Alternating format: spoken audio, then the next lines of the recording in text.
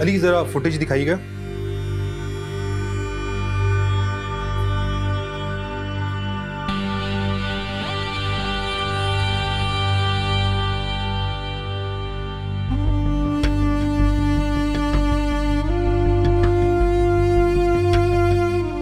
एक सेकेंड ये पॉज करें यहाँ पे? दोबारा चलाएँ इसे जरा।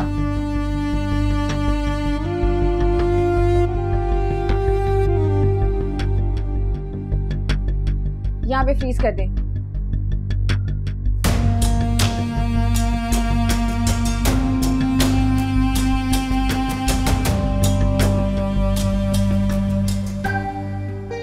दरअसल इसके बाद से इनका ना सेल फ़ोन ऑफ़ आ रहा है। तो मैंने सोचा कि आपको इन्फॉर्म कर दूँ कि कहीं ऐसी वैसी कोई बात ना हो। हाँ नहीं वो ये इनके रिलेटिव्स हैं ऐसी कोई बात नहीं है। वो इन्हीं के साथ गई थी। जी। यही बात है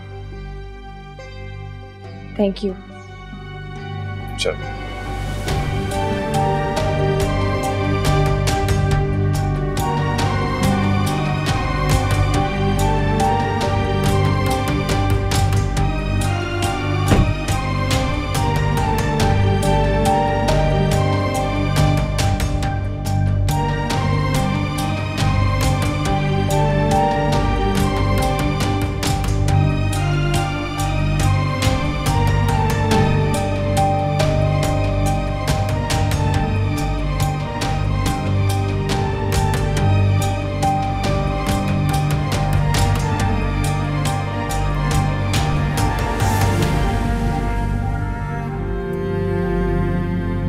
बहुत बुरा किया अपनी माँ के साथ। बहुत बुरा।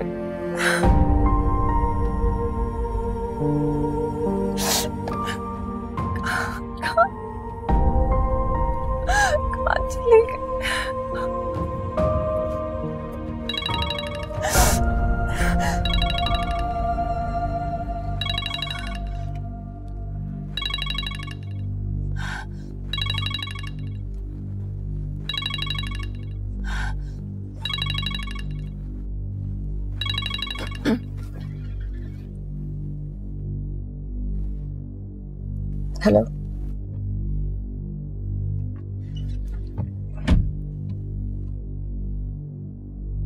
जी। जी, वो ठीक है। जी, वो अम्मी की तबीयत नहीं ठीक है। जी, मैं बता दूँगी। जी। ठीक।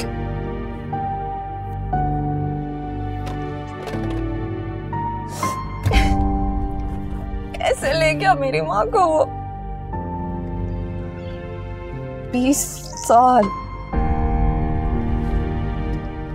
बीस साल की धुतकार का बदला वो अब ले रहा। कैसे लेके जा सकता है वो मेरी माँ को? कैसे लेके जा सकता है मेरी बहाना मिल गया ना उसे। बहाना मिल गया उसे मेरी माँ को लेकर जाने का। मैं नहीं छोड़ नहीं इसे। अब तो नहीं। निशा तुम मेरे साथ चलो। कहा? पुलिस के पास। मैं नहीं जाऊँगी किसी पुलिस पुलिस के पास। अब तो मैं सीधा इस जरखान के घर जाऊँगी। निशा पागल मत बनो। शायद उसने ये हरकत जानबूझ के की हो ताकि तुम अपनी माँ को ढूंढते ढूंढते उसकी हवेली पहुँच जाओ फिर वो तुम दोनों को कैद कर ले। तुम क्या चाहते हो? कि मैं भी यहाँ पे डर के बैठ जाऊँ? मैंने ऐसा कब कहा निशा यूनिवर्सिटी के लोगों को बताने के लिए इसलिए मना किया था ताकि तुम्हारी माँ का स्कैंडल ना बन जाए। तो फिर तुम क्या कहना चाह रहे हो कि मैं तुम्हारी तरह उन पुलिस वालों पे भरोसा करके बैठ जाऊँ? जिन्होंने तुम्हारी कंप्लेन काटने के बजाय तुम्हें ही अंदर कर दिया था। निशा इसके सिवा हमारे पास कोई और चारा भी तो नहीं है। फरजाद मैं उनके खिलाफ एफआईआर कैसे कटवा सकती हूँ? वो तो उन लोगों की मोटी मोटी रिश्वतें खाते हैं। कैसे काटेंगे उनके खिलाफ एफआईआर? निशा देखो इस वक्त हमारा केस कोर्ट में ठीक है? हम उसके थ्रू उन्हें फोर्स कर सकते हैं। नहीं मैं जाऊँगी। निशा पागल मत बनो। मैं जाऊँगी। निशा तुम्हें जानती नहीं मैंने कहा ना फरजाद मैंने कहा कि मैं जाऊँगी। ठीक है फिर मैं भी तुम्हारे साथ जाऊँगा।